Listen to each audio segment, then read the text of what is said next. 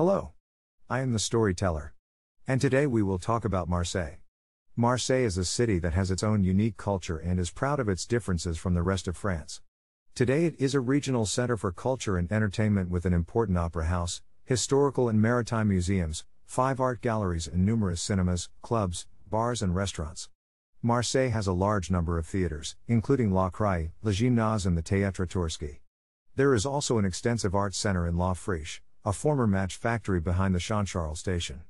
The Alcazar, until the 1960s a well known music hall and variety theater, has recently been completely remodeled behind its original facade and now houses the Central Municipal Library.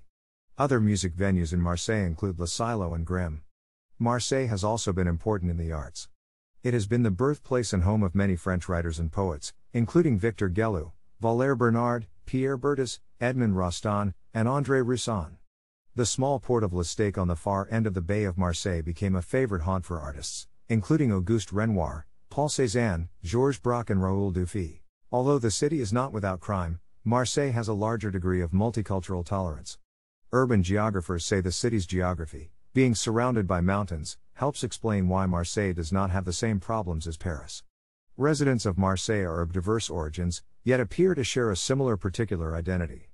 Another example is how Marseille responded in 2005, when ethnic populations living in other French cities' suburbs rioted, but Marseille remained relatively calm. Marseille served as the European capital of culture for 2013 along with Košice. One of the intentions of highlighting culture is to help reposition Marseille internationally, stimulate the economy, and help to build better interconnection between groups. Marseille Provence 2013 featured more than 900 cultural events held throughout Marseille and the surrounding communities. The European Capital of Culture was also the occasion to unveil more than 600 million euros in new cultural infrastructure in Marseille and its environs, including the MuCEM designed by Rudy Ricciotti. Early on, immigrants came to Marseille locally from the surrounding Provence region. Marseille became one of Europe's busiest port by 1900. Marseille has served as a major port where immigrants from around the Mediterranean arrive. Marseille continued to be multicultural. In the 1930s, Italians settled in Marseille. In 1962, a number of French colonies gained their independence, and the French citizens from Algeria, Morocco, and Tunisia arrived in Marseille. Multicultural Marseille can be observed by a visitor at the market at Noailles, also called Marché des Capucins, in Old Town near the Old Port.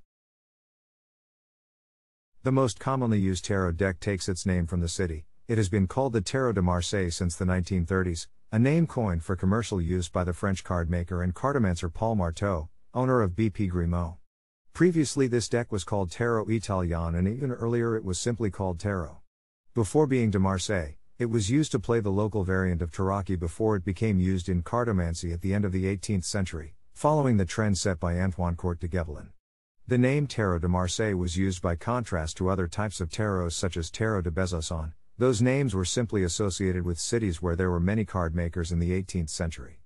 Another local tradition is the making of Santon, small handcrafted figurines for the traditional Provençal Christmas crèche.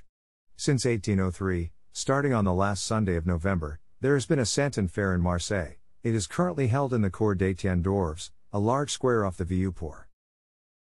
Marseille's main cultural attraction was, since its creation at the end of the 18th century and until the late 1970s, the Opéra.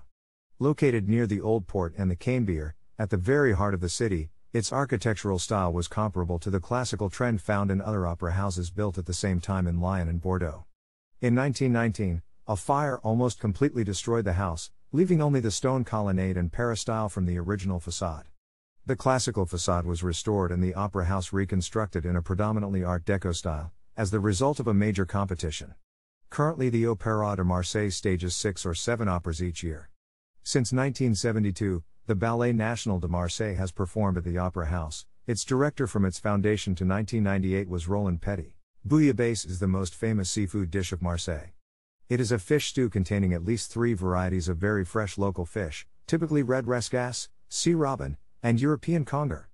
It can include gilt head bream, turbot, monkfish, mullet, or silver hake, and it usually includes shellfish and other seafood such as sea urchins, mussels, velvet crabs, spider crab, plus potatoes and vegetables.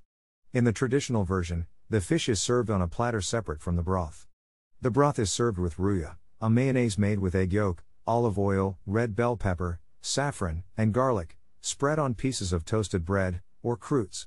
In Marseille, bouillabaisse is rarely made for fewer than 10 people. The more people who share the meal, and the more different fish that are included, the better the bouillabaisse. Aioli is a sauce made from raw garlic, lemon juice, eggs, and olive oil, served with boiled fish, hard boiled eggs, and cooked vegetables. Anchovillade is a paste made from anchovies, garlic, and olive oil, spread on bread or served with raw vegetables. Bourride is a soup made with white fish and aioli. Fougasse is a flat Provençal bread, similar to the Italian focaccia.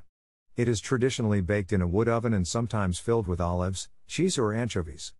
Navette de Marseille are, in the words of food writer MFK Fisher, little boat shaped cookies, tough dough tasting vaguely of orange peel, smelling better than they are. Farinata hash French variations is chickpea flour boiled into a thick mush, allowed to firm up, then cut into blocks and fried. Pastis is an alcoholic beverage made with aniseed and spice.